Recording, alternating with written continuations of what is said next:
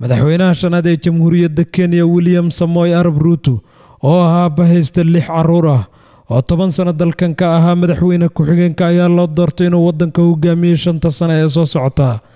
Ruuto ayaa ku dhashay deegaanka kamaguud ee ismaamulka uusingusho wuxuuna waxbarashada dugsiga hoose ka galay deegaankiisa isagoona dugsiga sare ku qaatay kowntiga nandi wuxuuna kadib jaamacadda shahaadada koowaad uu ka bartay cilmiga botany anziology ee jaamacadda nairobi. Kadibna cilmiga beeraha ayuu sii waday ilaa sannadkii labada uu ka qaatay shahaadada b h d-da ruuto ayaa ahaa arday firfircoon oo hadba halka uu wax ka baranaya ka mid noqon jiray hogaanka sare ee ardada wuxuuna markii ugu horreysay siyaasadda ku soo biray doorashadii kenya ka dhacday sannadkii kun iyo sagaal boqol iyo sagaashan iyo toddobadii.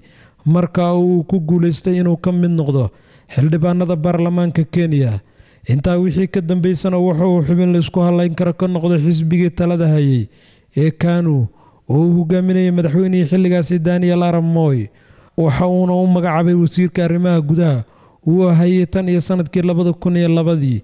Mar kale ayuu la shaqeeyey madaxweynihii xigay ee muwai kibaki oo uu noqday wasiirka beeraha labada kun iyo sideedii ilaa labada kun iyo toddobadii. Kadibna waxa uu noqday wasiirka tacliinta oo muddo toban bilood ah uu halkaa ka shaqaynayay william samoy ruuto oo siyaasadda si weyn uga dhex muuqday ayaa doorashadii ay rabshaduhu ka dhasheen ee sannadkii labada kun iyo toddobadii waxa uu ka mid noqday eedeysanayaashii looga wacay maxkamadda dembiyada caalamiga ee i c c wuxuuna jiitanka maxkamaddu soo gaaray ilaa sannadkii labada kun iyo lix iyo tobankii oo isaga iyo ninka uu ku-xigeen ku ahaa uhuru kenyatta ay si wada jir ah maxkamadeynta ugu socotay. Inkasta oo markii dambe wax dembi ah lagu waayey marnaba shumiciisu muu damin ruuto tan iyo sannadkii kun iyo sagaal boqol iyo sagaashan iyo toddobadii. Balse waxa uu xidigaha kenya hogaamiyey ku biiray. Markii uu xulafada la samaystay uhuru kenyatta oo ay kaga adkaadeen doorashadii. Dhacday sannadkii labada kun iyo saddexiyo tobankii rayla odinga. Waxayna xukunka joogeen ilaa sanadkan labada kun iyo labiiyo labaatanka. Waxa uuna xukunka kala wareegi doonaa uhuru kenyatta oo uu ku-xigeen u ahaa.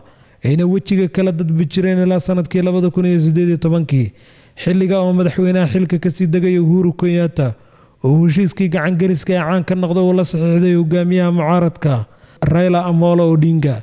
Wixii xilligaa ka dambeeyana waxaa xumaaday xiriirka uhuru iyo william ruuto ugu dambeyntii maanta oo ay taariikhdu ku beegan tahay shan iyo tobanka bisha agoosto ayaa william ruuto waxa uu ku guulaystay xilka madaxweynenimo ee jamhuuriyadda kenya. Saciid qarafaan universal t v nairobi